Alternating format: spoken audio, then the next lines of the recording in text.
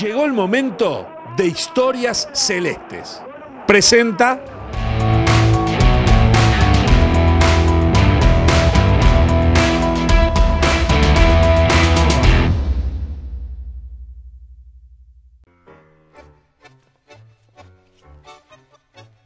Un silencio de muerte surgió en Colombes al terminar la final de 1924.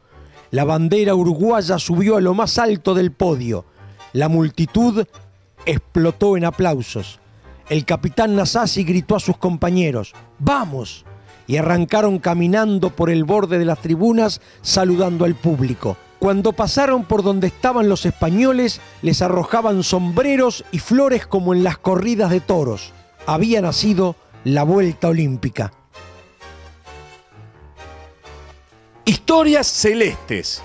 Presentó